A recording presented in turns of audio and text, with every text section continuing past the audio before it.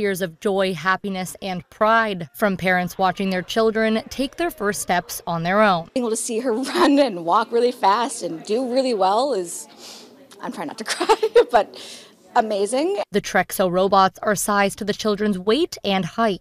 Kids are strapped in, and the robotic legs do the walking with someone else at the controls until the child can take over and initiate.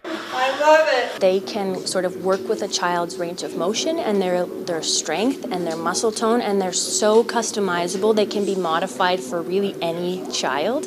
It, it's a great way to be able to, to get these kids involved in ways that they're not able to, not just uh, physically, but socially. The robot can be used as a physio tool or to help with daily living. It's programmed to detect how much effort the individual is putting in and can provide more or less support depending on their need.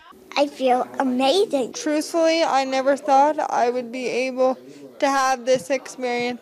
It is a mind blowing experience being able to have this opportunity and to be able to have the chance to be able to walk.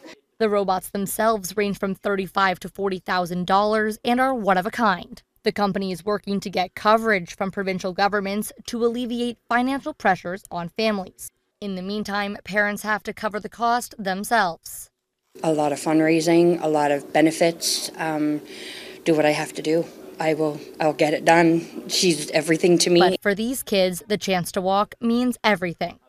Being a 16 year old in a wheelchair, there's always a boundary in the way. And I I am a strong advocate for every child with a disability to be able to do their dream. And this is one of my dreams that came true today. Emma Convey, Global News, Halifax.